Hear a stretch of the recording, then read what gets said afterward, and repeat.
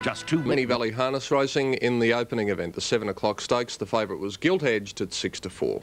Inside the 400 and Edged is doing it well. About three metres, Sir Rival. Tism is third on the inside with nowhere to go. Right off the track then came Kentuck, followed by Flying Lenny. And further back in the field then came Lightning 2. Around the turn and the leader was Gilt Edged is nicely clear in front.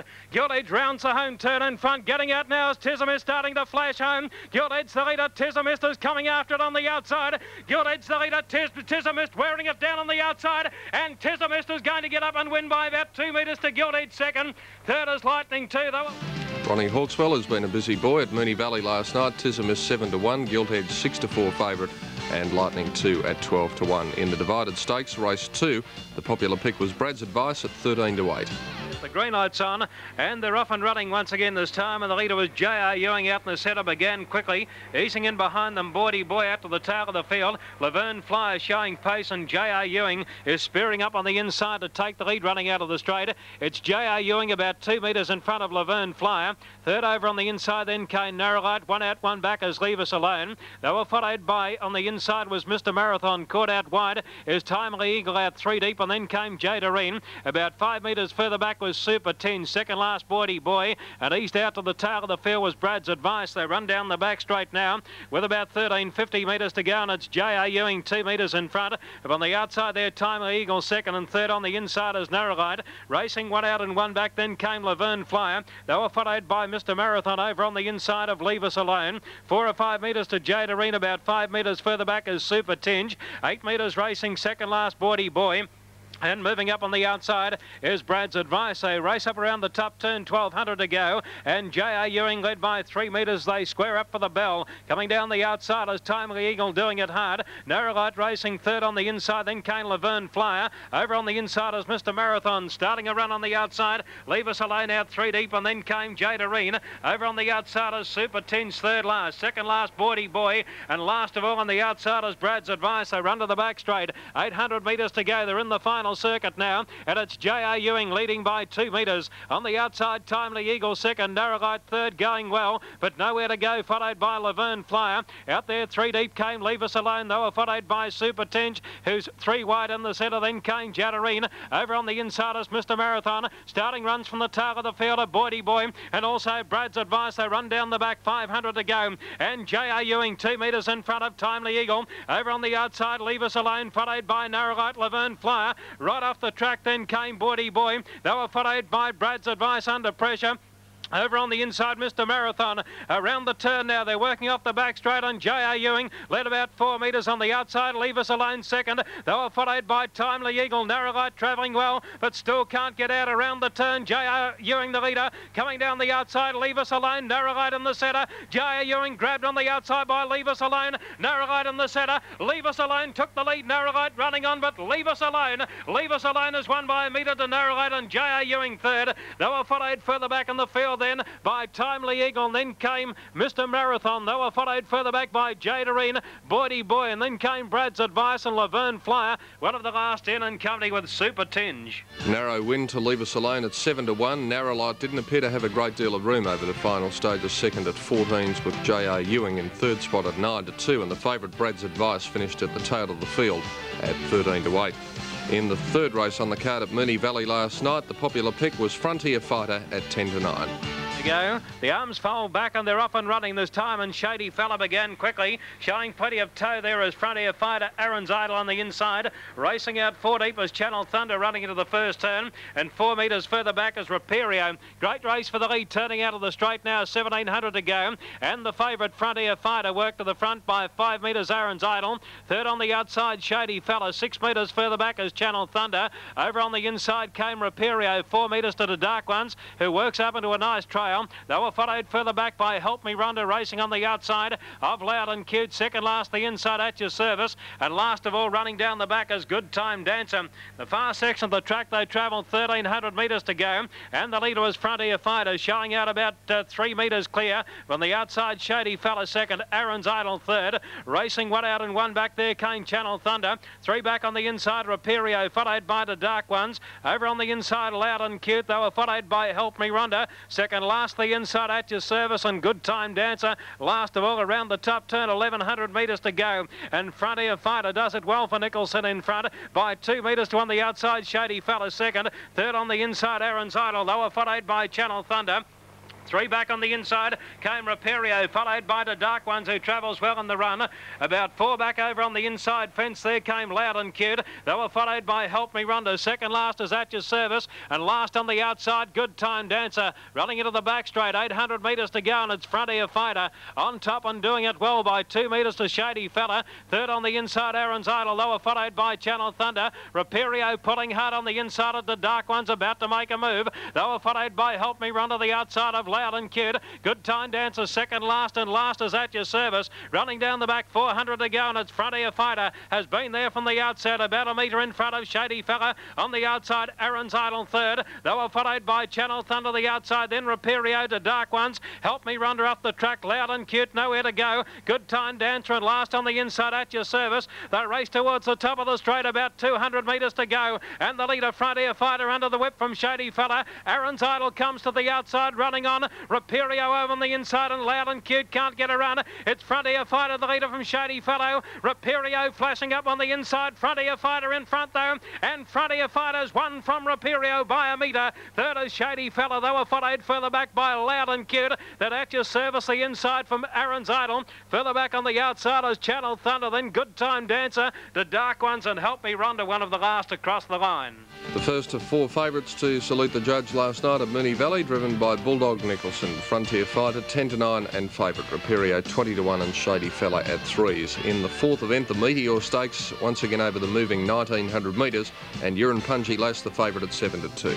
Back and they're off and running this time and a little bit slow to begin uh, dropping out to the tail of the field there was Change Command and showing pace was Purple Spot after the after the start to go to the front and Purple Spot quickly cut down to the inside and led running into the back straight, straight now. Around the outside is Quell Chevelle up running second and Urine Pungy Lass took the sit racing third on the inside. Out there three wide now is Jacaba racing around the outside up towards the leaders. Then came Key Scotch in the centre. Triple try about four back on the inside now. Racing around the outside Lockwood is three wide followed by Shy Mutiny. Eight metres away to Irish Lane and last of all is Change Command in the back straight now and Quell Chevelle is the leader by two metres. On the outside Jacaba second out three deep as Lockwood Road. Purple Spotters now over on the inside behind the leader. Racing one out and one back. Then Kane Key Scotch, Urine Pungy last. They were followed by Shy Mutiny racing on the outside. Uh, they were followed further back in the field by Triple Try. Second last on the outside is Change Command and Irish Lane is last on the fence around the top turn. 1100 to go. And Quell Chevelle about three metres. Lockwood Road on the outside. Racing third is Purple Spot and they were followed by Jacaba who's racing one out and one back. Urine Pungy Lass is three back on the inside. They were followed by Key Scotch. Racing third and fourth last on the inside as Triples try as they turn to the back, then Shy Mutiny.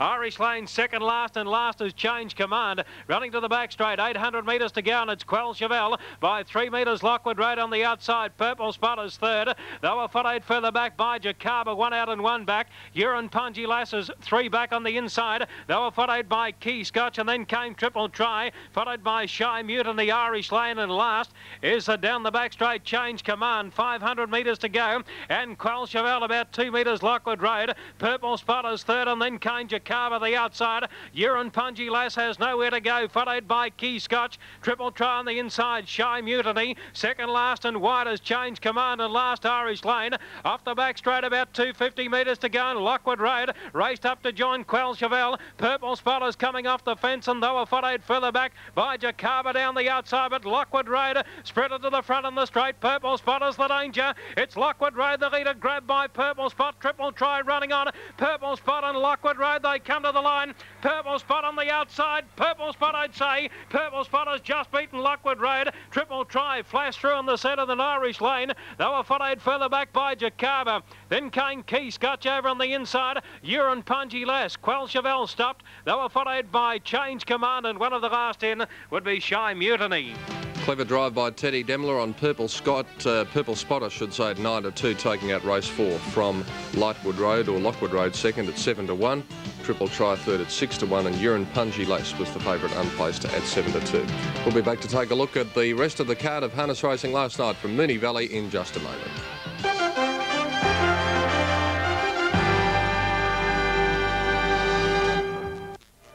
Next play. Well, it's a big day of sport here on Channel 7, of course. Later on today, we'll be taking you up to Sydney at five minutes after two for a live telecast of the match at the SCG, most important game between the Sydney Swans and Geelong. So stay with us for a great afternoon of football action here on 7. And that, of course, follows World of Sport, which comes up at 11 o'clock with Sandy Roberts, where we'll be examining all the football topics from yesterday and indeed all of the topics from the world of sport in the past seven days, with, uh, in particular, a good look at what's happening at Wimbledon. Well, back to harness racing last night at Moonee Valley, and race five on the card was the Universe Stakes over 1900 metres, and the favourite was Whirly Dream at 5 to 4. Ready?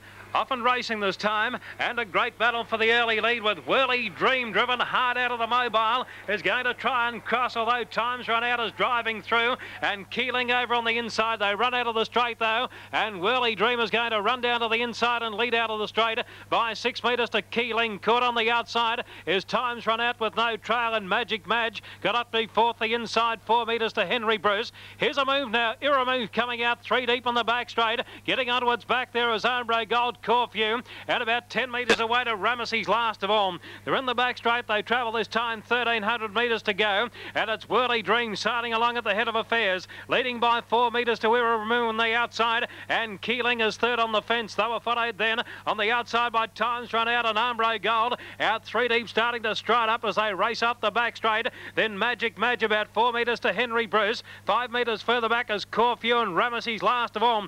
Around the top turn they travel this time, 1200 100 metres to go. And Whirly Dreamer showed great speed out of the mobile, leading by two metres. Ombre Gold on the outside, then Keeling on the fence, and here comes Ramesses. Ramesses starts a great run from the tail of the field, and Andrew Peace is driving like a man possessed with a circuit left to go on the outside, and Ramesses with a great turn of pace moved up to join. Whirly Dream in the lead. They lead six metres to Keeling.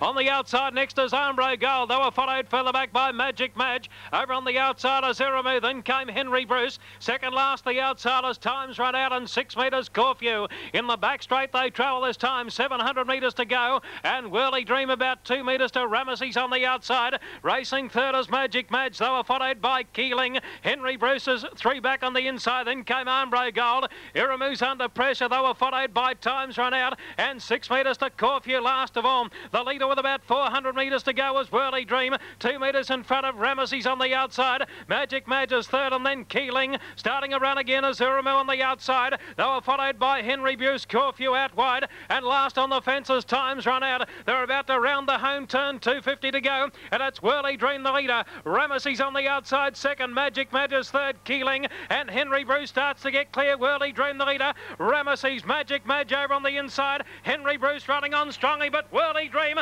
is putting out plenty, and Whirly Dream is going on to win. Whirly Dream first. A photo for the miners. Magic Major Ombre Gold on the outside. Then Henry Bruce, were followed by Ramesses Corfu. Keeling second last there would be Iramu, and last in was Times Run Out. Whirly Dream leading all the way, 5 to 4 and holding out that challenge from Ramesses with a lap to go to take out race 5 from Magic Madge at 50s and Ombre Gold at 6 to 1 in the Galaxy Grand Slam final for four-year-olds. Race six on the card. The favourite was Shy Atom at two to one.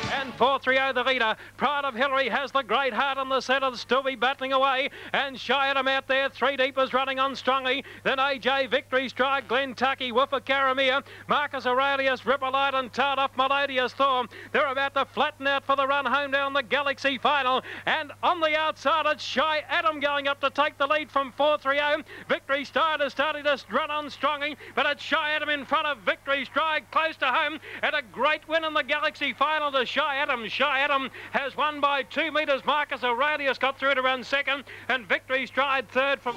The favourite home in the Galaxy final, Shy Atom 2 to 1, Marcus Aurelius 15s and Victory Stride third at 12 to 1. In the Trotters race 7, Game Ebony, the popular pick at 3 to 1.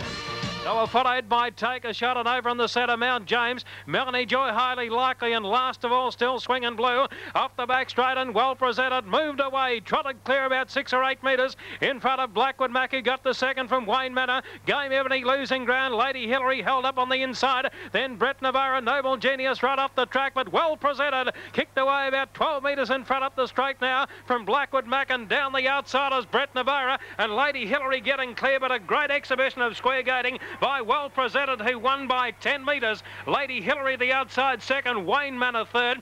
Well presented, trotting well to score at 7 to 2 from Lady Hillary's 16s, Wayne Manor 40s, and Game Ebony, the favourite, finished last at 3 to 1. In the Galactic Stakes, race 8, a long odds on favourite here and now, Maestro. Quickly raced up to join Rufus Youngblood in the lead. About eight metres away, then came Austin Bay. They were followed by Bert Butler, Kentucky George, and then came Telford Towers, followed by General Correspondence, and tailed off his most happy escort around the turn. Our Maestro on the outsiders raced up to tackle Rufus Youngblood. Eight metres away, Austin Bay. It's our Maestro starting to get the upper hand from Rufus, Rufus Youngblood and Austin Bay on the outside. Our Maestro calls the tune, though, close to home, and our Maestro is going to win by about two metres. Austin Bay second, third is Rufus Youngblood. Well, 8 to 1 on, but just managed to get home our Maestro from Austin Bay at 12s and Rufus Youngblood at 40 to 1. And so to the final event, the Milky Way Stakes over 1900 and Coy Lass the favourite at 11 to 4. Euphoria being tapped up and then came Perfect Lassie. Shy Spinnaker third last and they were followed by Riviera Lamont and Peaches taken to the outside. About 250 metres to go. It's Lentara Country the inside in front of Leprechaun Lass and Coy Lass on the outside is starting to round them up and Perfect Lassie on the outside. Coy Lass took a narrow lead from Leprechaun Lass. Here comes Perfect Lassie down the outside. Coy Lass, Perfect Lassie kicking back as Leprechaun Lass. They counter the post and Leprechaun Lass has beaten Coy Lass on the run home and third on the outside is Perfect Lassie. Well, that was one for the girls. Leprechaun Lass 14 to 1, Coy Lass 11 to 4 favourite, and Perfect Lassie at 5 to 1. The trifecta paying $197, one for the Omen punters. Last night the doubles had Moonee Valley. The extra double on four Leave Us Alone and four Purple Spot, $31.45. Daily double three Frontier Fighter and five Whirly Dream, $3.45. And the quadrella on four, three, four and five paid $522.40. And that was our look at harness racing last night at Moonee Valley, and that brings to a close this morning's edition of World of Sport Replay. Well, as I mentioned, we have a very big day of sport coming up in front of us, and it's a pretty cool uh, Sunday here in Melbourne, so a good day to sit in front of the television and take a look at World of Sport coming up with Sandy Robertson then at five past two up to the Sydney Cricket Ground for the big match between the Swans and Geelong. So I hope you can stay with us right throughout the day. All my gear comes from Opel Southland. Thanks for joining us this morning on World of Sport Replay. World of Sport Replay was another 7 Sport presentation.